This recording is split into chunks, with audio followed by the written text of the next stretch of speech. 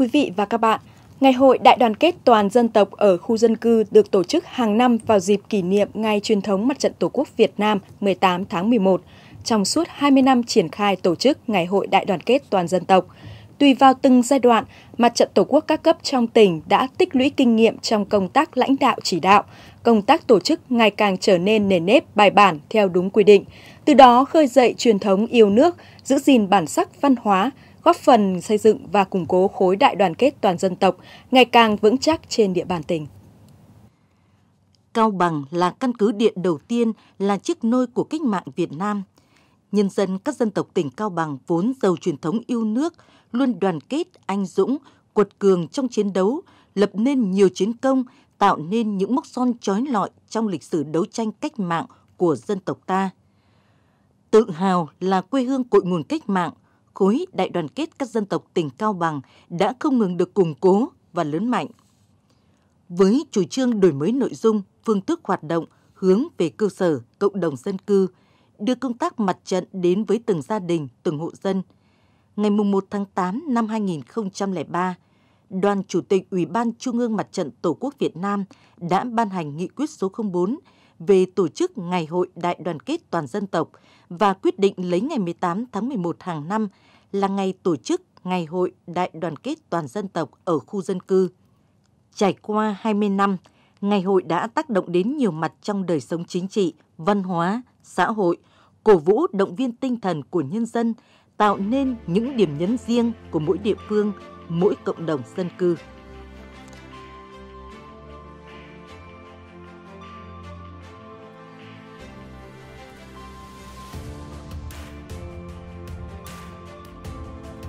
Cái ngày ờ,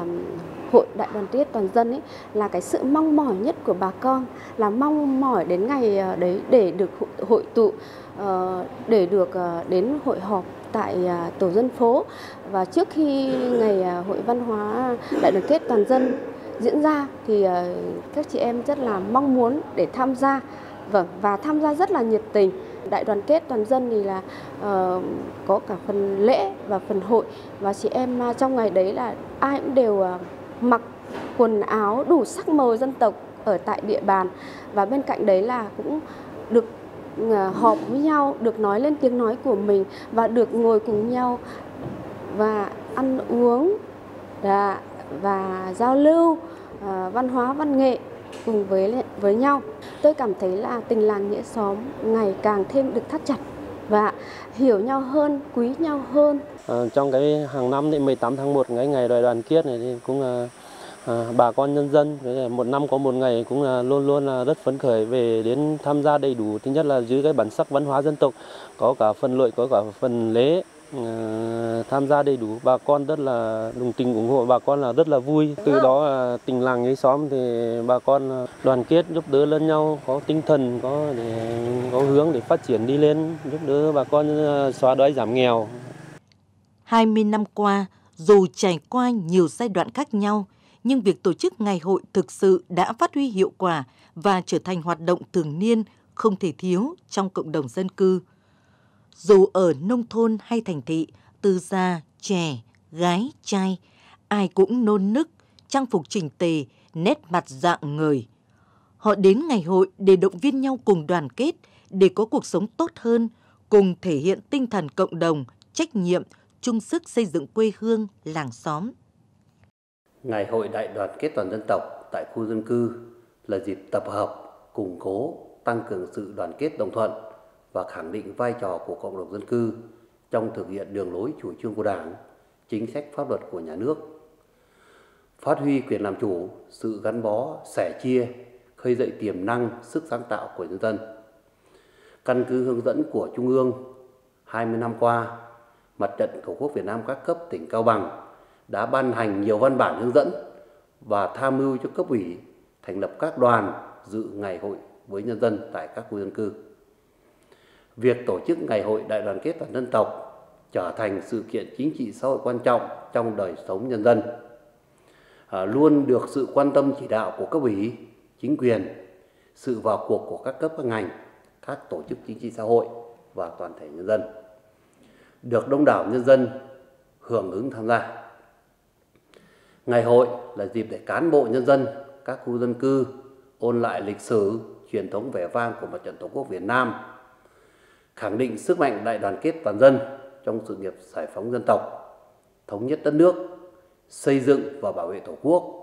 thực hiện công cuộc đời mới của đất nước, hội nhập quốc tế hiện nay. Thông qua ngày hội đại đoàn kết toàn dân tộc đã huy động sức mạnh tổng hợp của cả hệ thống chính trị, vai trò làm chủ của nhân dân trong tham gia xây dựng tổ chức đảng, chính quyền, mặt trận tổ quốc và các đoàn thể nhân dân ngày càng vững mạnh. Ngày hội đã tạo môi trường gắn bó, thân thiết, gần gũi giữa đảng với nhân dân, góp phần củng cố tình làng nghĩa xóm, xây dựng khối đại đoàn kết toàn dân, thúc đẩy phát triển kinh tế, văn hóa xã hội, giữ vững an ninh chính trị, trật tự an toàn xã hội, thắt chặt tinh thần đoàn kết cộng đồng cùng thực hiện có hiệu quả cuộc vận động toàn dân đoàn kết xây dựng nông thôn mới, đô thị văn minh và các phong trào thi đua yêu nước khác nhằm thu hút đông đảo các tầng lớp nhân dân tham gia góp sức xây dựng quê hương ngày càng phát triển. Quán triệt nghị quyết số 04 của Đoàn Chủ tịch Ủy ban Trung ương Mặt trận Tổ quốc Việt Nam về tổ chức Ngày hội Đại đoàn kết toàn dân tộc. Hàng năm, Ban Thường vụ tỉnh ủy Cao Bằng đã ban hành văn bản lãnh đạo chỉ đạo Ban Thường vụ huyện ủy, thành ủy, Ủy ban Mặt trận Tổ quốc tỉnh tổ chức ngày hội đảm bảo trang trọng, hiệu quả và trở thành đợt sinh hoạt chính trị sâu rộng ở mỗi khu dân cư. Qua đó, cấp ủy, chính quyền, mặt trận Tổ quốc các cấp, ban công tác mặt trận ở khu dân cư đã tổ chức nhiều hoạt động trong ngày hội đại đoàn kết toàn dân tộc, tạo được không khí đoàn kết vui tươi, phấn khởi trong cộng đồng dân cư, góp phần xây dựng và củng cố khối đại đoàn kết toàn dân tộc ngày càng vững chắc.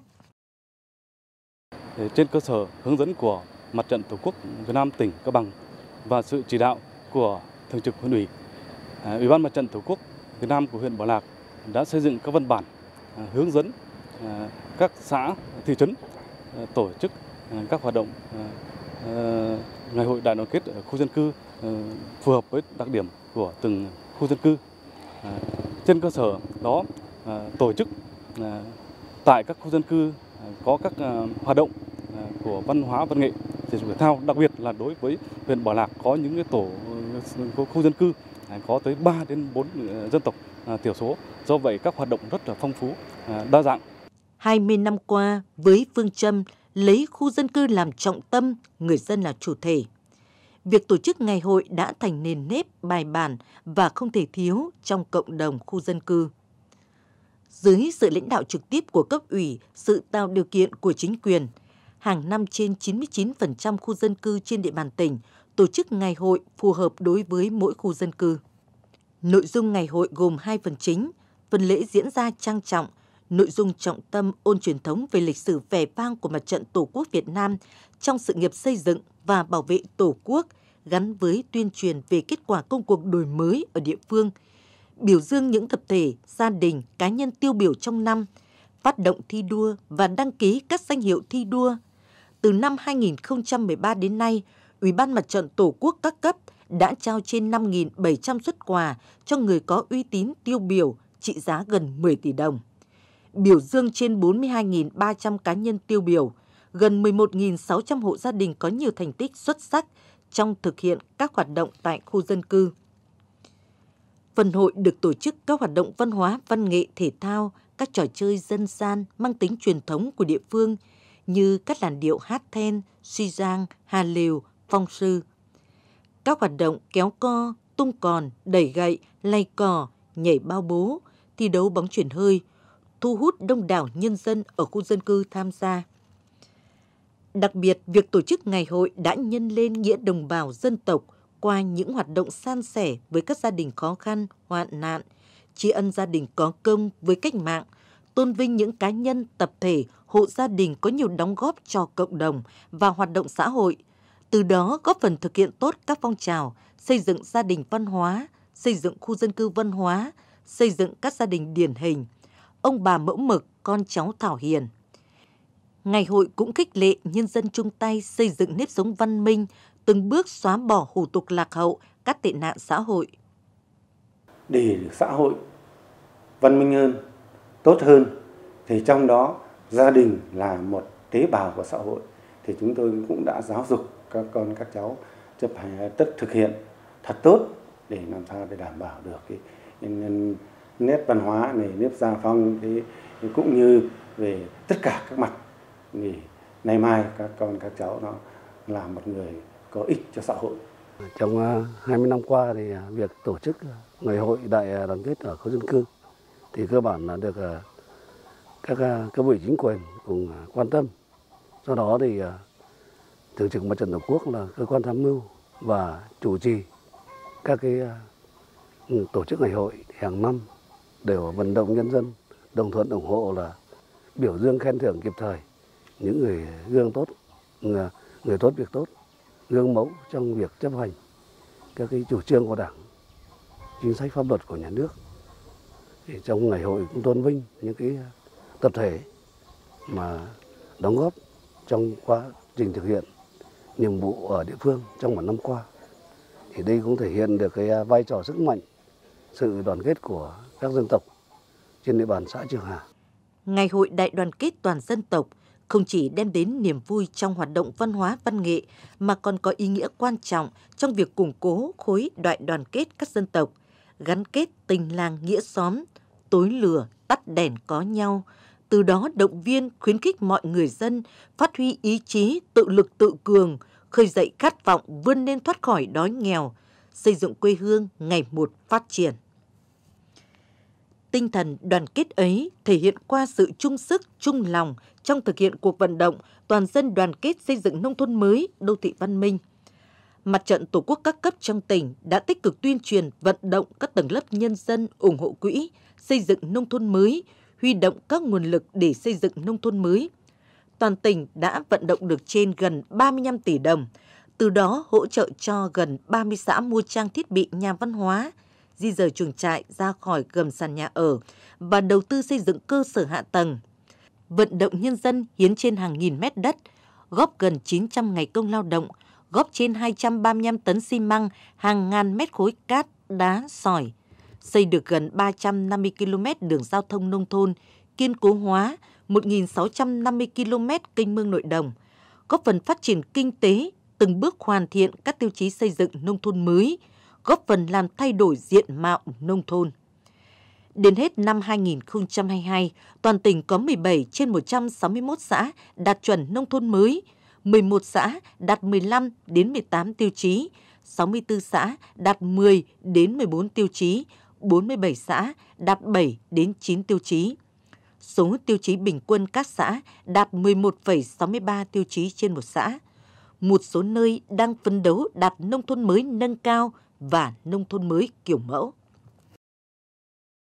Trong thời gian vừa qua thì à, từ bí thư chi bộ đến tổ trưởng tổ dân phố và các chi đoàn thể trong tổ dân phố 2 thì luôn đoàn kết với nhau. Được à, đồng thuận của nhân dân thì à, xây dựng cái tổ dân phố thì ngày càng đoàn kết trong tổ dân phố thì không có cái vấn đề lớn thì xảy ra trong trong cái nội bộ thì nhân dân thấy được cái vấn đề đó thì đã nêu cao được cái tính tiền phong gương mẫu để Ờ, tự xây dựng cho mình tức là về cái uh, kinh tế phát triển kinh tế hộ gia đình thì ngày càng phát triển. Thì uh, nhân dân thì luôn đoàn kết với nhau uh, trong uh, mọi cái phong trào. Ở trong tổ dân phố thì uh, không có hộ đói nghèo. Uh, trong những năm vừa qua thì thấy được cái trách nhiệm đó thì nhân dân tự vươn lên uh, xây dựng tổ dân phố thì càng ngày càng uh, trong sạch, vững mạnh về mọi mặt. Với những hoạt động thiết thực sinh động, cùng các nội dung phong phú đa dạng, Ngày hội Đại đoàn kết toàn dân tộc ở khu dân cư đã thu hút được sự tham gia ngày càng đông đảo của nhân dân, đã huy động được sự ủng hộ cả về vật chất lẫn tinh thần của những người con xa quê, cộng đồng doanh nghiệp, nhân dân đóng góp kinh phí để tổ chức ngày hội và các hoạt động an sinh xã hội đặc biệt là quỹ vì người nghèo đã vận động được trên 220 tỷ đồng. Từ nguồn quỹ này đã hỗ trợ xây dựng và sửa chữa gần 11.200 nhà với trên 150 tỷ đồng, tặng trên 87.000 xuất quà cho người nghèo ăn Tết với số tiền trên 38 tỷ đồng, hỗ trợ gần 8.400 lượt hộ nghèo phát triển sản xuất với tổng số tiền 8,5 tỷ đồng. trên 6.000 bệnh nhân nghèo khám chữa bệnh với số tiền trên 1,2 tỷ đồng và 2.400 học sinh nghèo có nhiều thành tích trong học tập với số tiền 1,2 tỷ đồng. À, vì hoàn cảnh của tôi rất là khổ vì tôi à, bệnh tật đã lâu. Tôi không đi được nằm một chỗ và cũng ngồi một chỗ. Vậy là gia đình tôi rất khổ rất nghèo lo cho cá con làm ăn không như mọi người. Vậy tôi cũng rất là cảm động. Năm nay tôi được vào nhà mới ngồi ăn tết cũng là vui cùng với các con Ngày hội đại đoàn kết toàn dân tộc còn là dịp để cấp ủy, chính quyền, mặt trận tổ quốc các cấp tham gia cùng nhân dân, từ đó nắm rõ tình hình đời sống và những tâm tư, nguyện vọng của người dân về phát triển kinh tế, xã hội, văn hóa ở từng khu dân cư.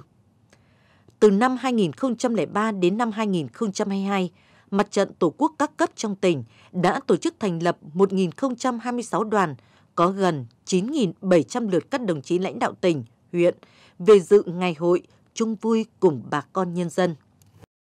Bảo Lạc chúng tôi là một à, trong những huyện có đa sắc màu dân tộc. Dân tộc thiểu số của huyện Bảo Lạc chiếm hơn 98% dân số toàn huyện. Trong những năm qua thì cấp ủy đảng, chính quyền các cấp từ huyện đến cơ sở Ờ, đúng quan tâm lãnh đạo chỉ đạo tổ chức ngày hội đại đoàn kết toàn dân tộc ở khu dân cư vào dịp ờ, à, ngày 18 tháng 11 tháng 5. Chúng tôi cũng đã phân công cho từng đồng chí ủy viên ban thường vụ, ủy viên ban chấp hành à, đến dự với động viên ờ, nhân dân, bà con nhân dân tại các khu dân cư. Qua đó thì sẽ nắm được cái kịp thời nắm được cái tâm tư, nguyện vọng chính đáng của người dân. Và từ đó chúng tôi sẽ à, chỉ đạo các cấp ban ngành để đầu tư giải quyết những cái bức xúc khó khăn tại cơ sở, tại địa phương, như là giải quyết là đầu tư các tuyến đường giao thông trọng điểm ờ, à, đường điện, rồi à, nước sinh hoạt, nhà văn hóa, vân vân. Qua đó thì người dân cũng tin tưởng tuyệt đối vào sự lãnh đạo của đảng và sự điều hành của các cấp chính quyền. Ờ, tạo cái khí thế ờ, lao động sản xuất ừ, phát triển kinh tế xã hội tại địa phương thì qua những việc tổ chức của ngày hội đại đoàn kết ừ, toàn dân tộc tại khu dân cư thì có ý nghĩa hết sức quan trọng. Thứ nhất là sẽ củng cố và phát huy sức mạnh khối đại đoàn kết dân tộc, khơi dậy ý chí tự lực, tự cường, khát vọng xây dựng quê hương đất nước ờ, phồn vinh, hạnh phúc và cũng giáo dục cho thế hệ trẻ tình yêu quê hương đất nước rồi bảo vệ, bảo tồn, phát huy giá trị bản sắc văn hóa dân tộc của huyện Bảo Lạc, tăng cường sự đồng thuận của người dân và của toàn xã hội, có phần thực hiện thắng lợi các mục tiêu, chỉ tiêu mà nghị quyết đại hội Đảng bộ huyện lần thứ 21 đã đề ra. Và ý nghĩa nữa là thông qua ngày hội đại đoàn kết toàn dân tộc thì đã huy động được ờ, sức mạnh tổng hợp của cả hệ thống chính trị và với vai trò của người nhân dân trong tham gia xây dựng đảng, chính quyền vững mạnh góp phần xây dựng quê hương Bảo Lạc ngày càng giàu đẹp, văn minh. Đặc biệt trong 20 năm qua, Cao Bằng vinh dự nhiều lần được đón các đồng chí lãnh đạo Đảng, Nhà nước, Chính phủ cũng như lãnh đạo các bộ ngành trung ương về dự ngày hội đại đoàn kết. Trong đó có Thủ tướng Phạm Minh Chính về tham dự ngày hội tại Liên khu dân cư Bác Bó, Nậm Lìn, Nà Lẹng, xã Trường Hà, huyện Hào Quảng năm 2021 đồng chí Đại tướng Tô Lâm, Ủy viên Bộ Chính trị, Bộ trưởng Bộ Công an liên thăm tham dự Ngày hội Đại đoàn kết toàn dân tộc năm 2020 tại Liên khu dân cư Nậm Nhũng, Giằng Dụng, Lũng Trần, Cà Giỏng, xã Lũng Nậm, huyện Hà Quảng. Đồng chí Lại Xuân Môn, Ủy viên Trung ương Đảng, Phó trưởng Ban Thường trực Ban tuyên giáo Trung ương, dự Ngày hội Đại đoàn kết toàn dân tộc – tại xóm Thượng Sơn, xã Thượng Thôn, huyện Hào Quảng năm 2022. Qua đó đã thể hiện được sự quan tâm của Trung ương đối với nhân dân các dân tộc tỉnh Cao Bằng, góp phần tăng cường mối quan hệ mật thiết, gắn bó giữa Đảng, chính quyền, mặt trận Tổ quốc và các đoàn thể chính trị xã hội với quần chúng nhân dân, phát huy sức mạnh của khối đại đoàn kết toàn dân tộc trong thực hiện các mục tiêu, nhiệm vụ chính trị, kinh tế xã hội quốc phòng an ninh của tỉnh. Trong giai đoạn cách mạng hiện nay, trước yêu cầu cần phát huy sức mạnh khối đại đoàn kết toàn dân tộc để tạo động lực thực hiện công cuộc đổi mới, hội nhập và phát triển. Ngày hội đại đoàn kết toàn dân tộc càng có giá trị ý nghĩa quan trọng trong đời sống nhân dân. Thời gian tới, cấp ủy, chính quyền, mặt trận tổ quốc các cấp trong tỉnh tiếp tục tổ chức tốt Ngày hội đại đoàn kết toàn dân tộc nhằm tạo không khí vui tươi, phấn khởi trong nhân dân, khơi dậy và phát huy tính dân chủ, tinh thần đoàn kết, tự lực, tự cường ngay từ cơ sở. Phát huy những kết quả tổ chức Ngày hội Đại đoàn kết toàn dân tộc. Trong thời gian tới, với vai trò là cơ quan tham mưu chính trong xây dựng khối đại đoàn kết toàn dân tộc trên địa bàn toàn tỉnh, Ủy ban Mặt trận Tổ quốc Việt Nam các cấp của tỉnh Cao Bằng sẽ tiếp tục tham mưu cho cấp ủy tổ chức có hiệu quả ngày hội với một số nhiệm vụ trọng tâm như sau. Thứ nhất là làm tốt công tác tuyên truyền chủ trương đường lối của Đảng, chính sách pháp luật của nhà nước, quy định của địa phương, quy ước của khu dân cư và tăng cường các hoạt động tuyên truyền, giáo dục để nhân dân đề cao cảnh giác, nâng cao ý thức, nhận thức chính trị trước các âm mưu chống phá, đặc biệt là sự lợi dụng về vấn đề dân tộc, tôn giáo để kích động chia rẽ khối đại đoàn kết toàn dân tộc của các thế lực thù địch. Thứ hai là tăng cường vận động nhân dân, phát huy thế mạnh của địa phương, tranh thủ các cơ chế, chính sách hỗ trợ, ưu đãi của nhà nước, đoàn kết giúp nhau đẩy mạnh sản xuất, xây dựng đời sống kinh tế ổn định và từng bước phát triển. Thứ ba là tổ chức cho nhân dân tham gia thực hiện hiệu quả cuộc vận động toàn dân đoàn kết xây dựng nông thôn mới, đô thị văn minh và phong trào cao bằng chung sức xây dựng nông thôn mới gắn với các phong trào thi đua yêu nước khác, nhất là phong trào cao bằng chung tay vì người nghèo, không để ai bị bỏ lại phía sau, góp phần thực hiện thắng lợi các nhiệm vụ chính trị về phát triển kinh tế, văn hóa xã hội, quốc phòng an ninh ở địa phương. Thứ tư là tiếp tục quan tâm, chỉ đạo, phối hợp và tạo điều kiện để nhân dân phát huy tốt vai trò tự quản của cộng đồng, duy trì và nâng cao chất lượng ngày hội đại đoàn kết toàn dân tộc ở khu dân cư, à, góp phần thắt chặt tình làng nghĩa xóm, gắn kết cán bộ đảng viên với nhân dân và đoàn kết tương trợ giúp đỡ lẫn nhau trong cộng đồng và tích cực tham gia các hoạt động xã hội nhân đạo từ thiện. Thứ năm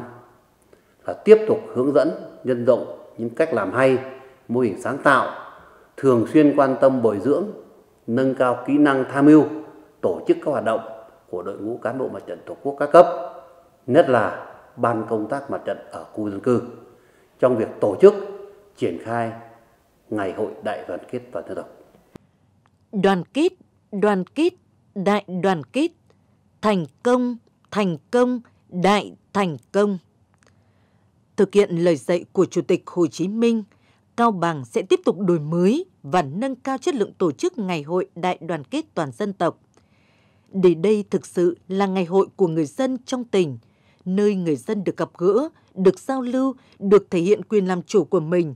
từ đó phát huy cao độ sức mạnh của khối đại đoàn kết toàn dân, tạo nên nguồn sức mạnh chung to lớn của cả cộng đồng các dân tộc trong tỉnh.